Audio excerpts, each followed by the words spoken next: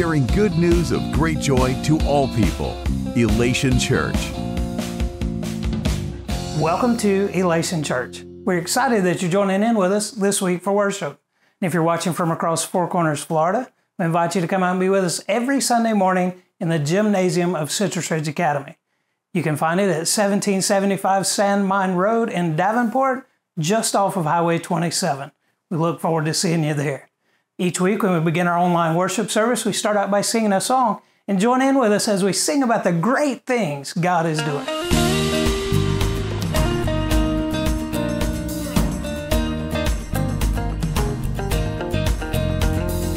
Come, let us worship our King. Come, let us bow at his feet. He has done great things. What our Savior has done. See how his love overcomes. He has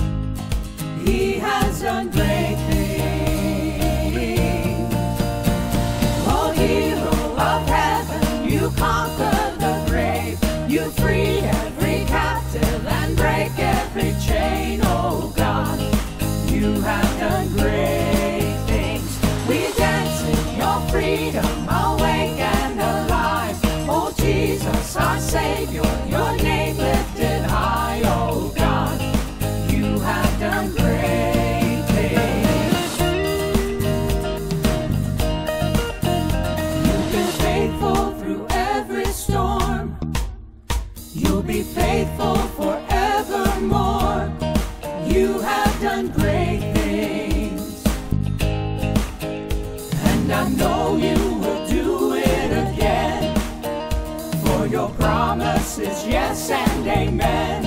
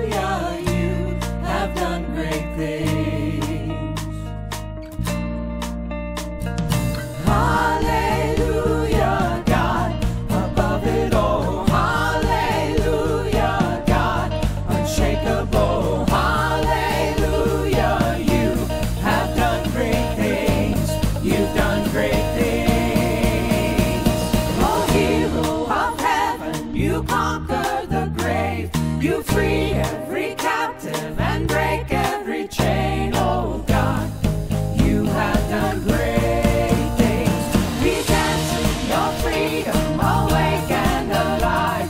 Oh, Jesus, our Savior, your name lifted high. Oh, God, you have done great things.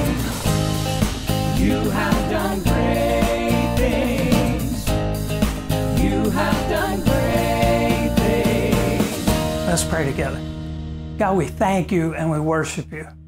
God, we stand amazed by you and your goodness and what you're doing in our lives.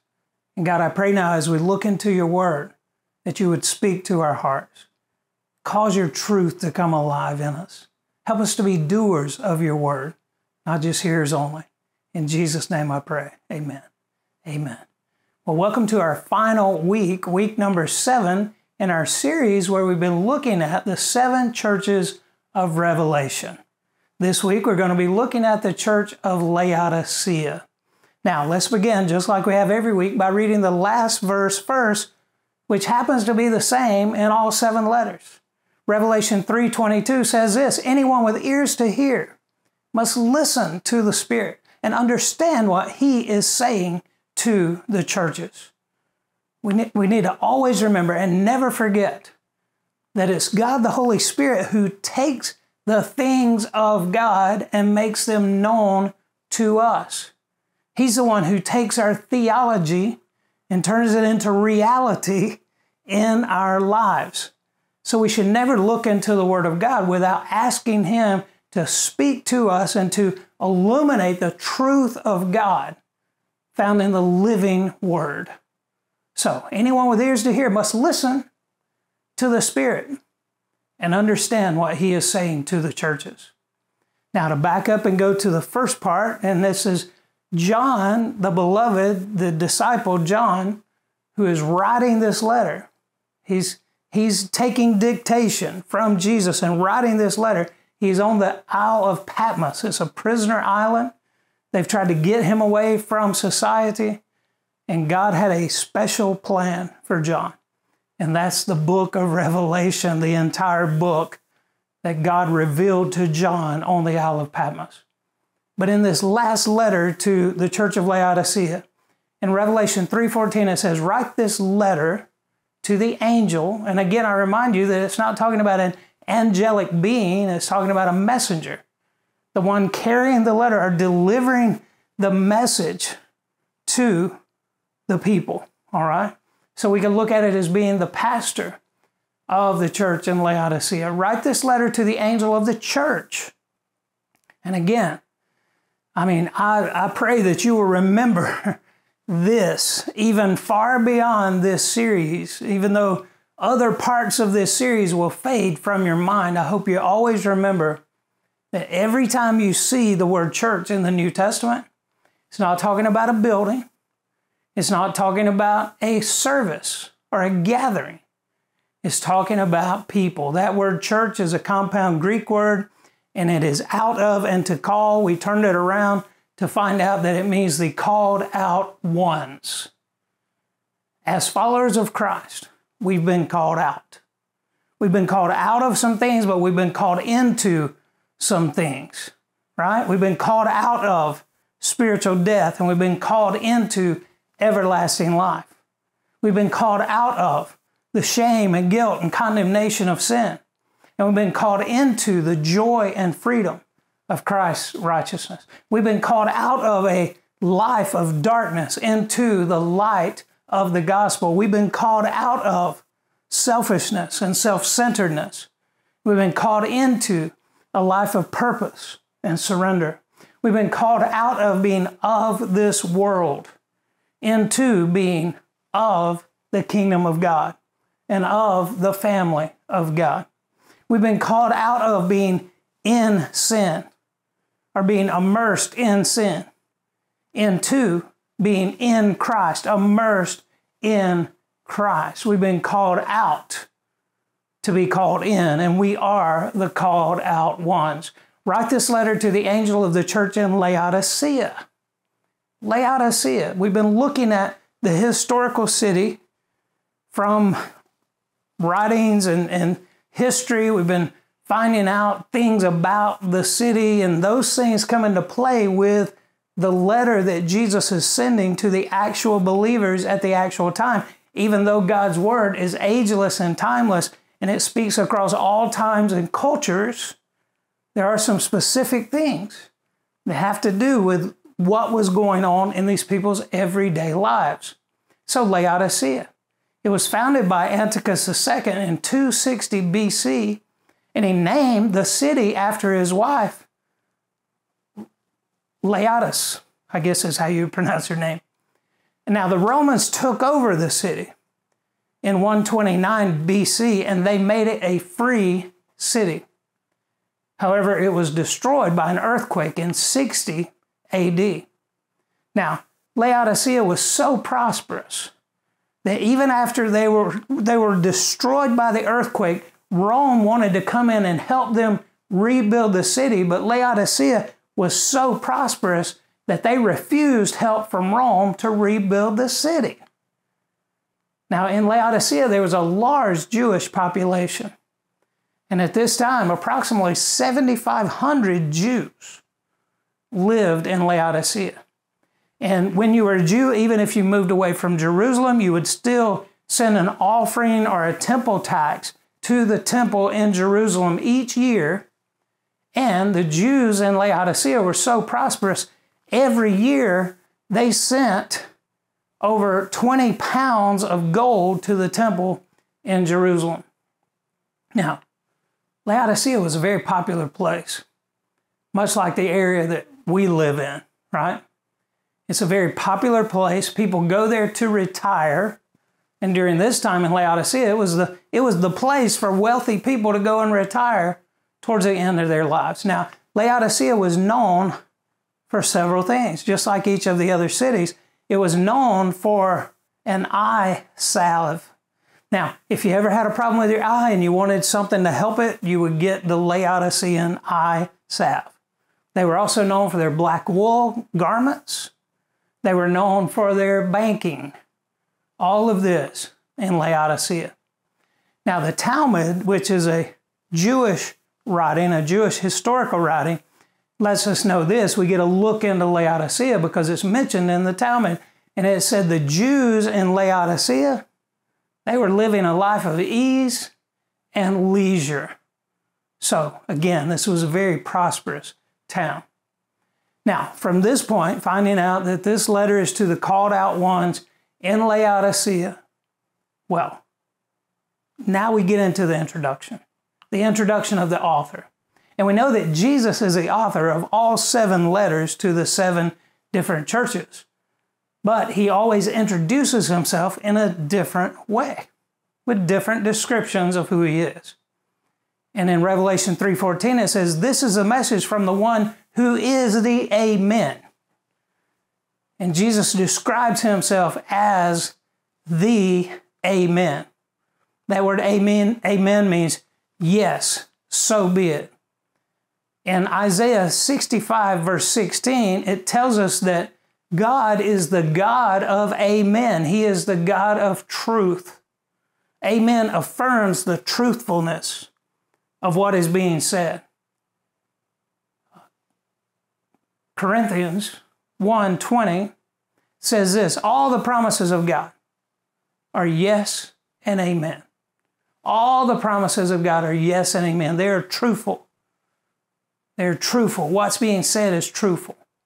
So Jesus describes himself as the Amen. So, how do we translate that? Well, Jesus is the living verification and the confirmation of the promises of God. Let me say that again. Jesus is the Amen. That means He is the living verification and confirmation of everything God said, of all of His promises. They are yes and amen. They're not maybe, they're yes and amen. This is a message from the one who is the Amen, the faithful and true witness, which just goes along with Jesus saying he is the Amen. He is, he is faithful and he's true. All right? He's saying this what I'm, what I'm saying, every time I say something, every time Jesus says something, every time God says something, it's the truth. There's, there's no need to deny it because it's the truth. There's no need to try to explain it away like some people do because it's the truth. There's no need to make excuses to get around it being the truth because it is the truth. Jesus is the Amen. What God says, what God's Word says, it is the truth. That's not up for debate. Back to verse 14.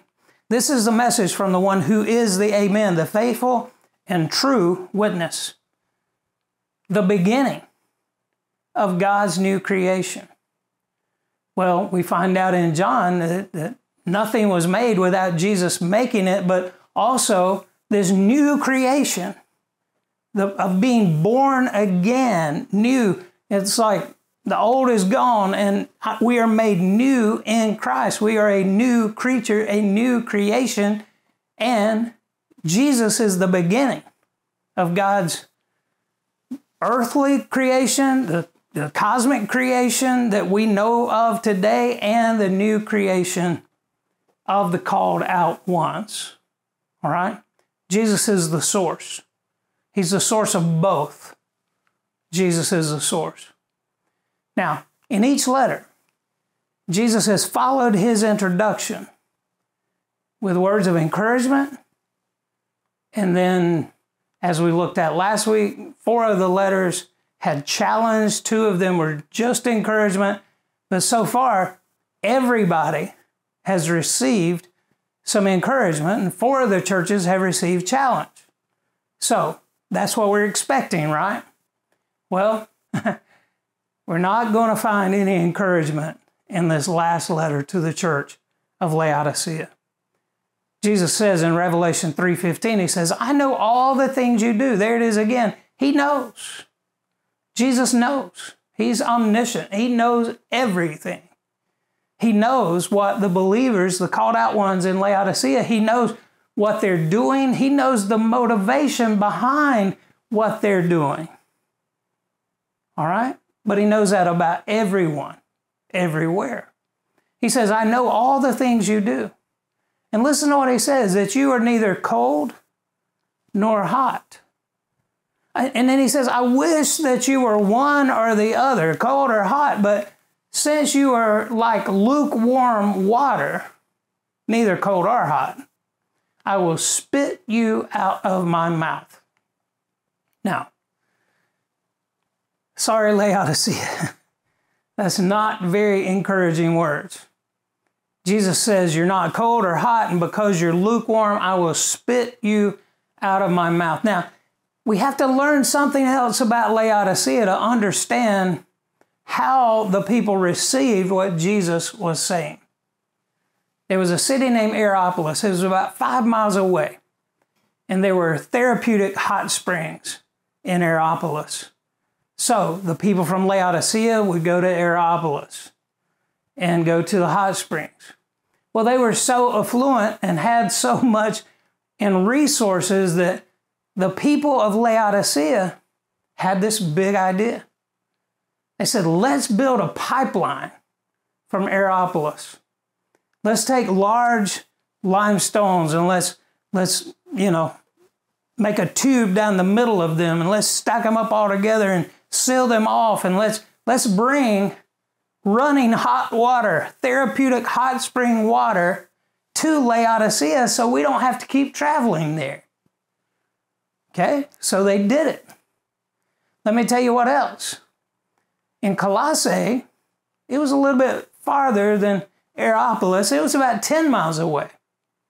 Now, in Colossae, they had pure, refreshing, cold streams. Some of the best drinking water that anywhere in that area had ever drank. Well, it's 10 miles away, so Laodicea, you know, they'd have water brought in. Well, no, we're going to do the same thing we did with Hierapolis. We're going to we're going to build a pipeline. As a matter of fact, we have so much resources that we're going to build two pipelines, one to Hierapolis and one to Colossae, and we're going to have pure, refreshing, cold spring water, and we're going to have hot, therapeutic water. So we're going to have hot water, we're going to have cold water, but here's the reality. As soon as those pipelines were built and they started running water through them, by the time water traveled five miles above ground in a rock pipeline and or 10 miles above ground in a rock pipeline, guess what? The cold water wasn't cold and the hot water wasn't hot. Coming out of both sides was lukewarm water. Also, coming out of both sides, after traveling through these, these stones that had picked up so many minerals and so many things that contaminated the water, the water was lukewarm and the water was contaminated. And if you go there today and look at what this water used to flow through, there's so much deposits around where the tubes were that it's, it's almost closed up. There was so much contamination in their pipelines. And as a result, you, you really had to acquire a taste for the contaminated lukewarm water in Laodicea. They had spent so much to try to get that therapeutic hot spring water and that, that cold, cool, pure stream water. And then it turns out that all that they had coming out of both pipelines were contaminated lukewarm water. Now, I've been to places where there've been contaminated water. As as me and my family spent 20 years on the road, we would almost every year we went to a, a small church in Kennedy, South Carolina, and they had well water at the church, but the depth of the well water, I mean, and even in the homes of the community, there was so much sulfur in the ground that when you got in the shower to take a shower and you turn it on, it took your breath because it smelled like rotten eggs. Also, we went to an, an area in New York, Jamestown, New York, Western New York, and they had a well at the church, and, and there was so much iron in the water that it would turn the pipes. It would, it would make a white water line pipe look like it was rusty. I'll never forget, we had a pet fish, you know, a betta fish that we carried with us, and we changed the water while we were there, and the fish died within a few hours. There was so much metal and iron in the water, in the well water.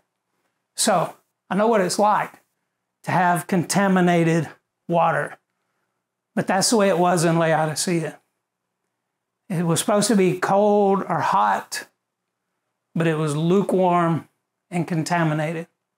And when Jesus said, I wish that you were cold or hot, but you're just lukewarm, and because you're lukewarm, I will spit you out of my mouth, they knew exactly what the comparison was.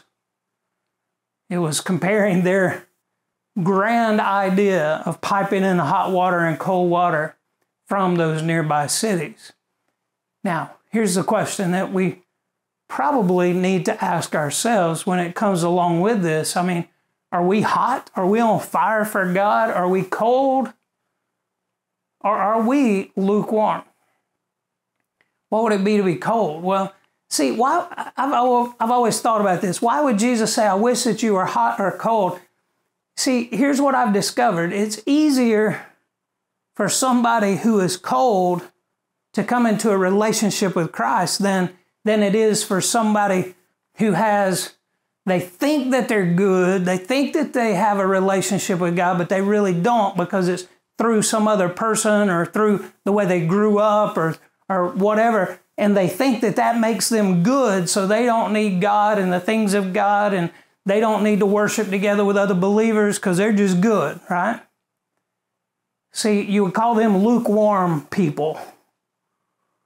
You would call the people that are going after a, a living relationship with a living God, you would call them cold, you would call them hot people, call them hot, on fire for God. And then the people who are just completely indifferent would be cold. And it's a whole lot easier to show someone who is indifferent their need for Christ than somebody who thinks that they're just okay where they are. Somebody who is lukewarm and not really in a real relationship with the living God. And by looking at people's lives, you can, you can tell what somebody believes by the way they live. I mean, right? You, you can't find out what a person really believes just by listening to them talk. Because there's a lot of people who have a lot of great answers. But you can tell what they really believe by the way they actually live. Let's continue. Jesus continues talking to the called out ones in Laodicea in Revelation 3:17. He says this. He says, you say, I'm rich. I have everything I want. I don't need a thing. Remember, Laodicea is a very affluent, Laodicea is a very affluent city. They didn't even ask Rome for help to rebuild the city after the earthquake. They thought they had everything. And Jesus says, Look, I, I know the way you're living. You say, you say that you're rich. You have everything you want. You don't need a thing. But Jesus says this He says, You say you're rich, you have everything you want, you don't need a thing. And then Jesus says, You don't realize that you're wretched, miserable, poor, naked, and blind. You, you don't realize that. See, they refused the help of Rome. They thought they had everything they need. And in their self sufficiency, they actually were at a point where they don't need God either. Now, don't get me wrong, they would have never said out of their mouth that they don't need God. But that's the way they lived. They went through the motions, went through the religious motions like they don't need God. I've heard this question asked through the years where people ask this question, and it's a thought provoking question, and it goes like this If if God, if Jesus did not show up to church Sunday, if the Holy Spirit did not show up at your gathering, at your worship service this Sunday, would he be missed? Or is everything just completely programmed out to the point where it's going to happen like it's going to happen whether God is there or not? And it's hard to believe that that's a possibility. But if we're honest, we could say that it is a possibility that we could go through all the religious motions of having a worship service without ever worshiping God, without ever really lifting up the name of Jesus. We could just go through the motions. Whether He's with us or empowering us or anointing us or not. And that's a scary place. And I would call that a place of being lukewarm too. Jesus said, Look, you got to realize you think you are rich and you have everything you want, that you don't need a thing. And Jesus is saying, Look, you got to realize that you need me. He says, Look, you don't realize that you're wretched, that you're miserable, that you're poor, that you're blind, that you're naked. And see, he was hitting all of the things of Laodicea. He said that they're poor. They say that they're rich. Jesus is saying you might be rich materially, but you're poor spiritually. Laodicea was the place to purchase eye salve if you had a problem with your eyes. And Jesus says, Look, you might think that you've got everything figured out and you've got this eye salve that everybody wants in the whole region, but really you are blind. You might think that you're helping people see, but you're blind. They made the finest wool, black wool clothing. The finest clothes came from Laodicea. And Jesus says, Don't you realize that you're naked? I mean, you, you're proud of all these things the, the affluence, the salve, the finest clothes. But really, spiritually, you're poor, you're blind, you're naked. And then Jesus goes on in verse 18 to say this. So let me give you some advice. he says, So I advise you, buy gold from me. Gold that has been purified by fire. Then you will be rich. See, real riches are not the riches of this world real riches are eternal riches or spiritual riches. And real riches are found primarily in a relationship with Christ. The psalmist put it this way in Psalm 73 25. He said this He said, God, I desire you more than anything on this earth. Even though they thought they were rich, Jesus said, You're spiritually poor. The real riches are spiritual and eternal.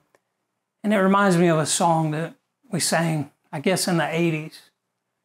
Went something like this Lord, you are more precious than silver.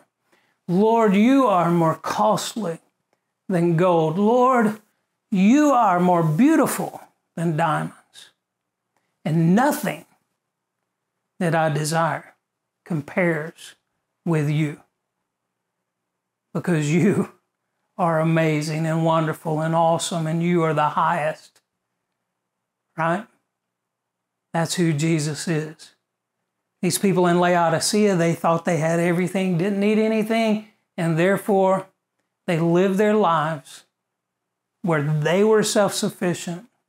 They were the Lord of their own lives, and they didn't realize their desperate need for Jesus because they thought they could take care of everything on their own with their own resources, with their own intellect, with their own energy.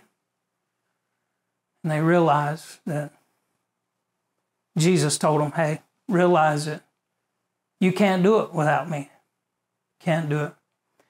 Then in verse 18, he continues to say this Hey, also, buy white garments from me, so you will not be shamed by your nakedness.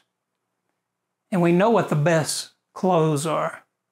The best clothes don't aren't purchased off of a rack or from a tailor in Laodicea or anywhere in the world. The best clothes is the white robe of Jesus' righteousness. And he's saying, Look, you need my robe of righteousness more than you need what Laodicea produces or what the world produces. Be clothed in my righteousness. And Jesus goes on to say this. He says, An ointment for your eyes. He's saying, Buy from me some ointment for your eyes so you will be able to see.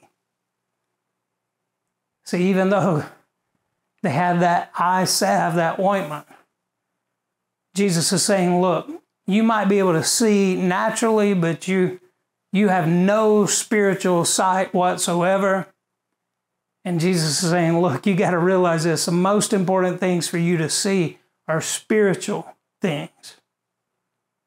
Even far above any natural thing that you can see, you need to have spiritual sight. And then in verse 19, Jesus says this I correct and discipline everyone I love. Now, we live in a world that doesn't like correction. We live in a world that doesn't like discipline, right? But Jesus says this I correct you and I discipline you because I love you. I want what's best for you. I'm concerned about your safety. I'm concerned about your eternity. I'm concerned about your well being. And for him to just abandon us and not correct us and not discipline us would show that he doesn't even care. He just says, just go figure it out on your own. No, he says, I correct my kids and I discipline my kids. You know why? Because I love my kids, is what Jesus says. See, there's no encouragement in this letter to the called out ones of Laodicea, but there is hope. Here's the hope Jesus loves them. And his words of correction and discipline are proof of his love. Going back to verse 19, I correct and discipline everyone I love.